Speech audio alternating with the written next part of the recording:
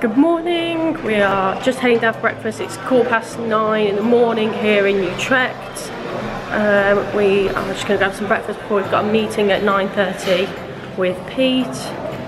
Um, so yeah, later on we are heading to the later game of the two, which is uh, Denmark v Holland. So that should be really good.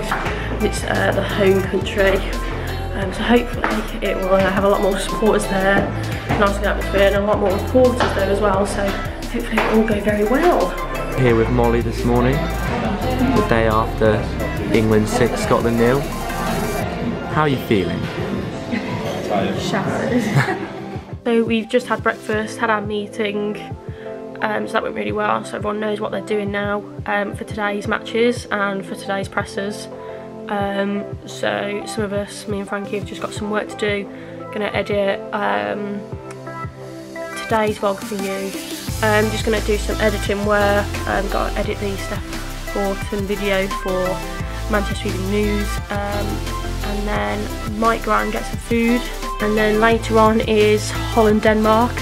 That should be a really good game as um, obviously Holland are the host nation. The turnout should be pretty decent. Um, unfortunately can't wear the Holland top there. Um, but I, I think it'll be a really good game. I think the score will be 2-1 Holland. Um, I think it'll be a lot more of a closer game than any of the others have been so far, especially with the England and Scotland game yesterday, with England beating Scotland 6-0. Um, but it's been a pretty um, exciting time so far. Um, and hopefully you guys have enjoyed the video so far. And um, we'll see you shortly.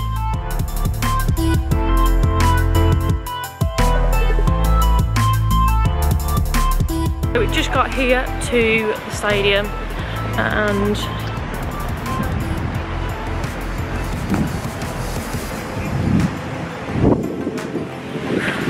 it's supposed to be really busy here. Um, apparently it's sold out so hopefully it'll be a really good atmosphere.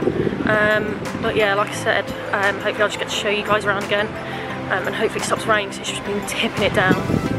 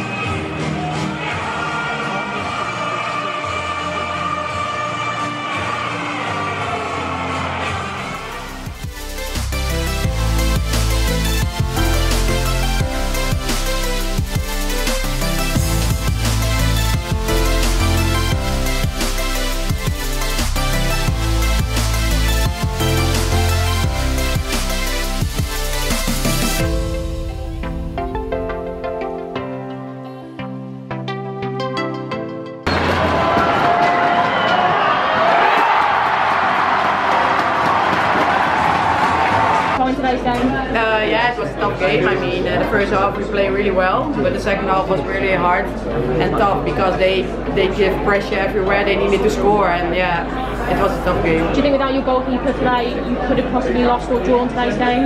Yeah, I don't know, but I can I can tell you that she was really good and she was really important for the team tonight. So yeah he deserved it. And do you feel like you playing so far wide in today's game could help you push and help the team push in, in their attacking phase? Yeah, of course, it helps us pushing, but yeah, everything is everything around is really important. All the people, all the supporters, everyone on the stands, the girls on the bench as well. Yeah, they give us energy, and I think that's really important for us. For you, what are you what are you hoping to improve on for next game?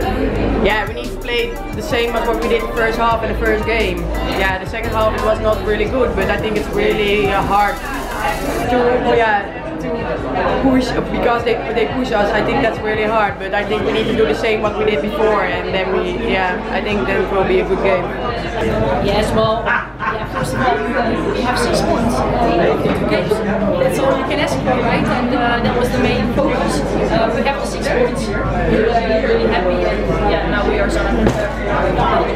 On the first game, sold out. Stadium, playing in front of stadium. Yeah, well.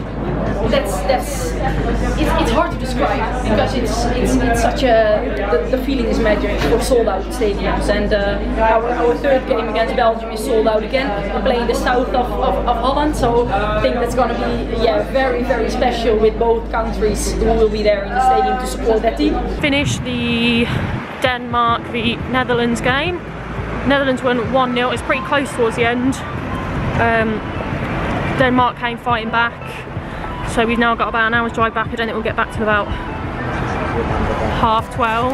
Um, but it was a pretty good game. Um, incredible the amount of um, fans that showed up today. The atmosphere was probably the best of any game so far for sure. So it was uh, nice to just get a, a more upbeat game.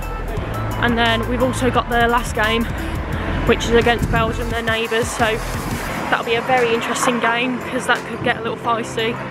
Interviewed Shanice van der, van der Sanden, which was really nice.